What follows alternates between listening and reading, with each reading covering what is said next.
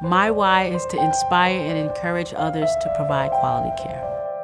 My name is Gia Smith. I am currently the CEO of American Specialty Healthcare Group.